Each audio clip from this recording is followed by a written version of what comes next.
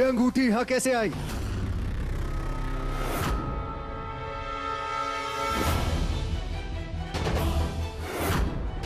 चंद्रचूड़।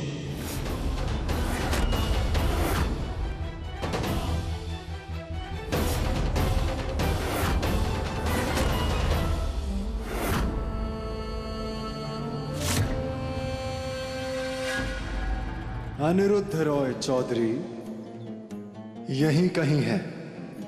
चप्पा चप्पा ढूंढ लो इस जगह का।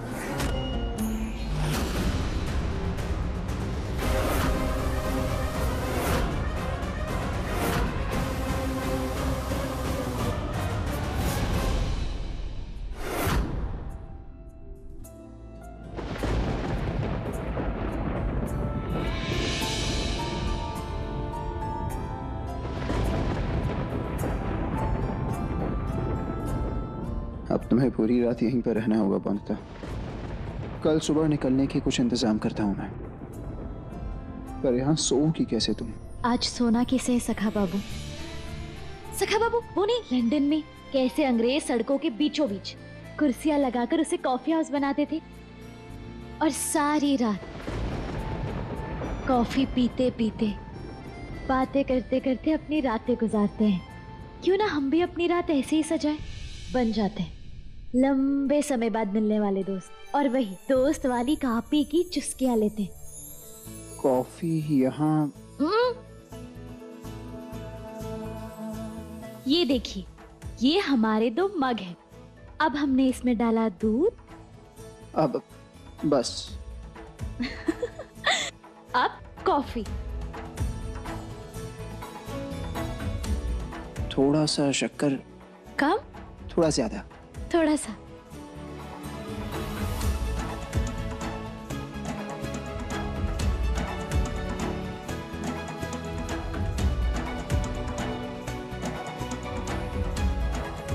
ये मेरी कापी और ये आपकी लीजिए गरम है थैंक यू मिस बंदता You're welcome, Mr. Uh, Mr. सखा बाबू नहीं नहीं। मिस्टर बरिस्त्रा बाबू। आपको पता है सखा बाबू मैं ना लंदन में हमेशा कॉफ़ी हाउस जाती थी। पता है क्यों? क्यों? क्योंकि कॉफ़ी की खुशबू से मुझे आपकी याद आती थी। तो बंदता जब तुम लंदन में थी मैं कुछ पूछ नहीं पाया कुछ जान नहीं पाया कि तुम वहाँ क्या करती थी। सब बताओ। मैं तो लंदन में बस एक ही काम करती थी। आपको याद। हर पल हर लम्हा। और आपको पता है मैं अपनी दोस्तों के साथ भी ना आपकी बातें करती थी। वो आपको बहुत अच्छे से जानते हैं। और एक दोस्त तो मेरा सबसे खास बन गया था। लड़का? हम्म, लड़का खास दोस्त बन गया। मुझे कोई फ़र्क नहीं पड़ता मैं तो बस यूँ ही पूछ। तुम ना चाहो तो मत बताओ। मैं वो लालटेन।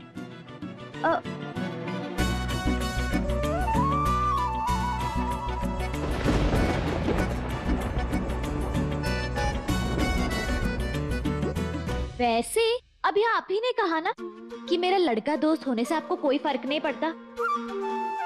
हाँ मुझे कोई फ़र्क नहीं पड़ता अब वैसे अगर आपकी लड़कियाँ दोस्त होती ना तो मुझे कोई फ़र्क नहीं पड़ता। अच्छा तुम्हें भी कोई फ़र्क नहीं पड़ता ना? अच्छा हुआ बौद्धता मैं। मैं सोच ही रहा था कि अपनी लड़की दोस्तों के बारे में तुम्हें कैसे बताऊँ? शायद छुपाना पड़ जाए पर अब नहीं छुपाऊँगा अब सब बता दूँगा। धीरे धीरे।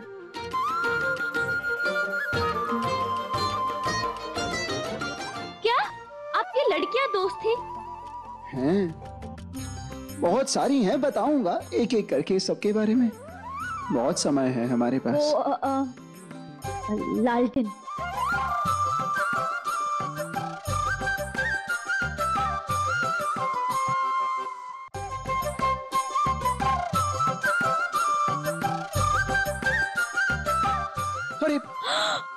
कॉफ़ी गिर गई। मैं मैं मैं, मैं सा, साफ़ कर देता हूँ। वैसे बौंदता तुम ही तो कह रही थी ना कि तुम्हें कोई फ़र्क नहीं पड़ता। झूठ कहा था मैंने मुझे फ़र्क पड़ता है। मुझे भी।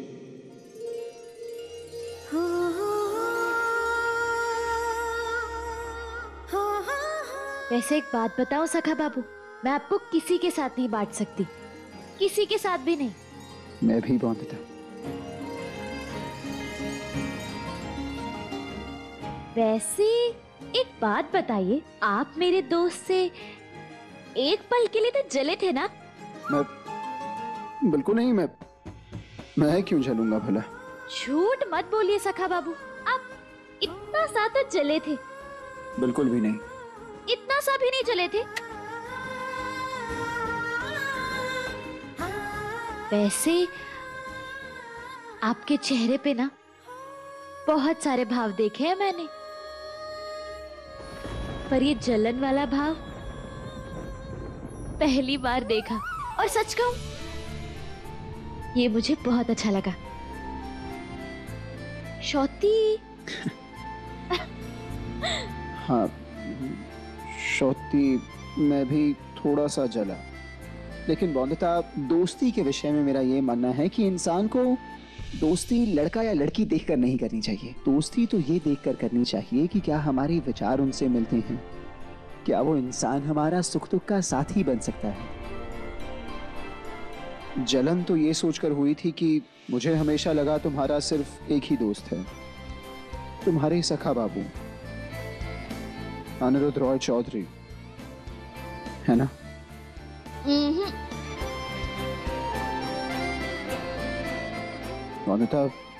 अयो अप्पा मैं सच बोलती है सिर्फ़ आपको झूठ लगती है। लगती नहीं लगता। सही बोली। बोला। अयो अप्पा अभी तो बोली। बो,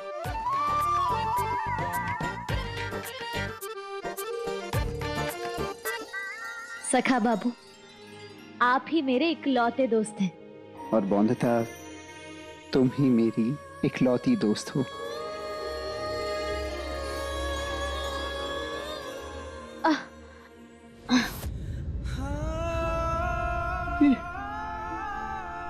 बौंधता तुम्हारे पैर में इतने सारे छाले। मुझे माफ़ कर दो बौंधता मेरी वजह से देखो ना तुम्हारे पैरों में छाले हैं। ना अपना घर है ना ढंग के सोने की जगह है ना खाने के लिए खाना है।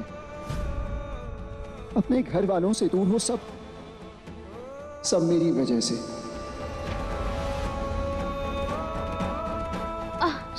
संभल के बौंधता सखा बाबू आप ही मेरा घर है।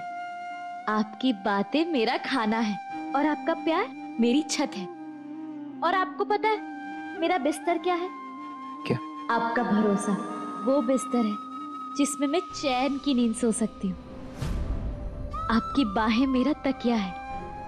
और सखा बाबू, हम साथ हैं। यही मेरे लिए काफ़ी है।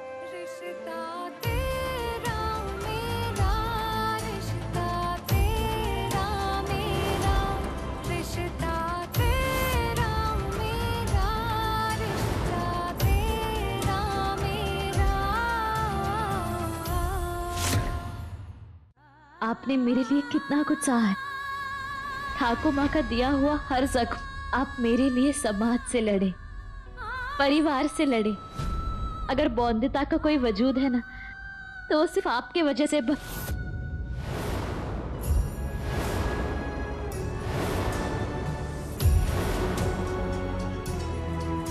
बौंधता अगर अनिरुद्ध रॉय चौधरी का कोई वजूद है तो वो सिर्फ़ तुम्हारी वजह से है। मैं आज जो भी हूँ, सिर्फ़ तुम्हारी वजह से हूँ बौंधता तुम्हारी वजह से मैंने दुश्मनी का रास्ता छोड़, प्यार का रास्ता निभाया। तुम्हारी वजह से मैं आठ साल बाद मुस्कुराया। तुमने मुझे मुझसे मिलाया बौंधता आठ साल बाद चैन की नींद सो रहा हूँ मैं। आठ साल बाद खुलकर सांस ले रहा हूँ मैं। आठ साल बाद अपने दिल की कर रहा हूँ। तुम्हारी वजह से मैं मैं ज़िंदा महसूस करने लगा हूँ, जीने लगा हूँ।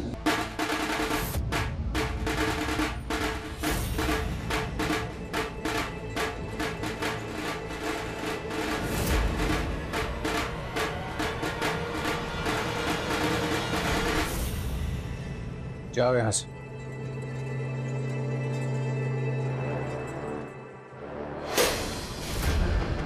आज इतनी भी खुशी के ढोल ना पीटो, कल खामोशी के मातम का सामना ना कर सको।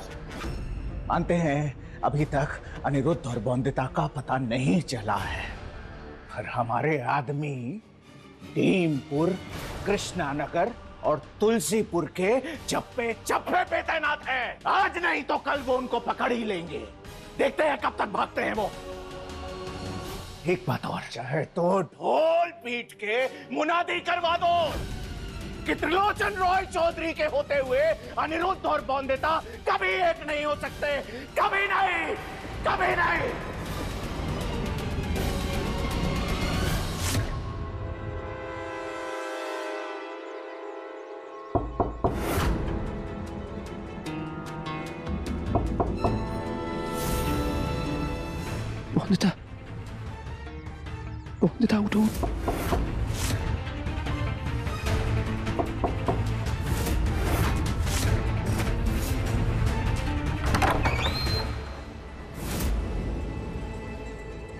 तुम लोग यही हो।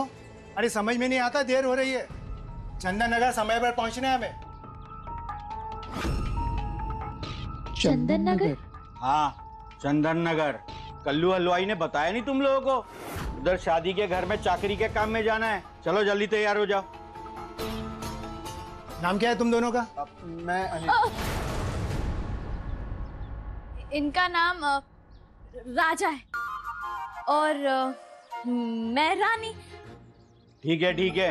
राजा हो या रानी पर ये मत भूल जाना कि वहाँ शादी के घर में तुम नौकर हो और ये नौकरानी। काम ठीक से करना नाम मत खराब करना कल्लू हलवाई का। हाँ हाँ बिल्कुल।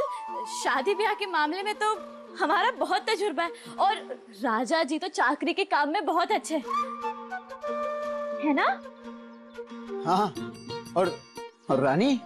बर्तन साफ़ करना घर साफ़ करना इन सब कामों में तो महारानी है। है ना? ठीक है। जल्दी करो। देर हो रही है। जी।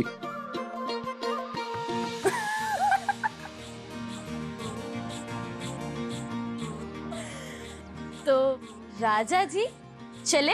हाँ रानी। नौकरानी। चलिए। चंदन नगर।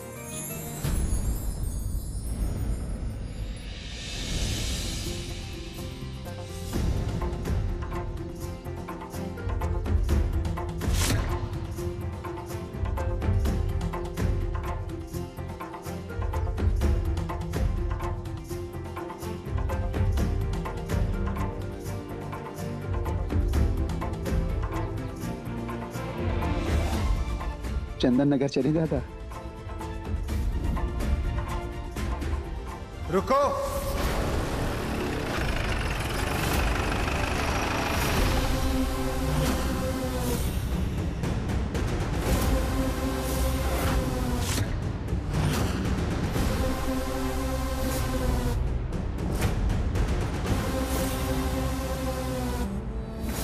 जी हजूर। कहाँ जा रहे हो? कौन है ये लोग? हजूर चंदन नगर जा रहे हैं। शादी में चाकरी का काम मिला है ना? वो कल्लू हलवाई है ना? उसके काम से ही जा रहे हैं हजूर। ये सब मेरे काम करने वाले लोग हैं। काम वाले लोग हैं? या मेरे काम के? वो मैं देख लूँगा। देखो जाके। उतारो। सबको नीचे उतारो और एक एक की अच्छे से तलाशी लो।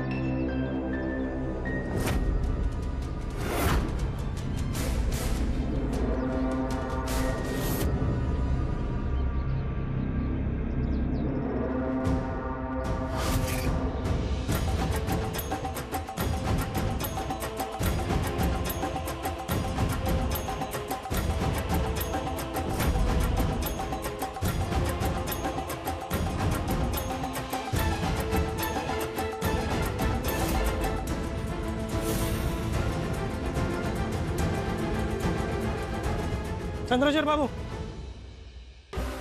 अभी अभी खबर आई है कि त्रिलोचन जमींदार और सोमनाथ बाबू अपने आदमियों के साथ पूर्व दिशा में गए।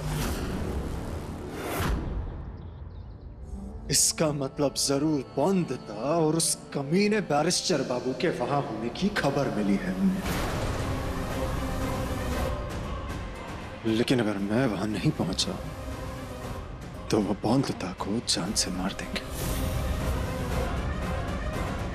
चलो। जल्दी चलो।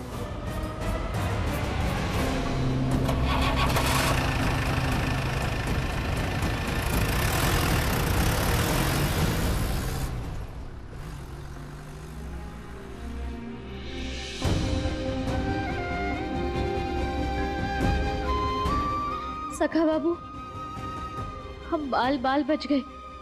बचना ही था बौंदता। आखिर दो दो माओ का आशीर्वाद था हमारे साथ। दुर्गा माँ का और सुमति माँ का पकड़े थोड़ी जाते